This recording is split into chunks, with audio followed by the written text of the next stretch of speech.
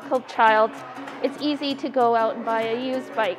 Um, whereas this program allows us to try different types of bikes. They are able to find a bike that fits him exactly and um, adapts to his growing body.